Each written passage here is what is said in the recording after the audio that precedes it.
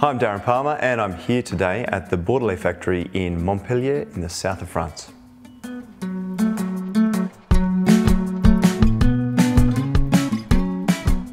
Seeing the Tatiana being made from the raw material is really amazing because the hood has a template that's placed against it and they draw a line physically by hand and then they put it on a rolling machine to cut by hand.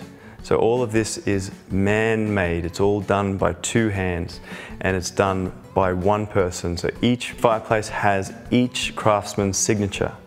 They are all handmade. It is quite unbelievable that each cut is done by a man. And then one, once it's spun to, to get the beautiful finish on it, there's also handmade. It gets translated onto another machine and the craftsmanship that it takes to be able to work out how to get the right curvature so that you get that beautiful smooth curve takes a lot of time and effort, a lot of know-how. It's quite unbelievable to see how precise but also how organic and beautifully fluid it can be.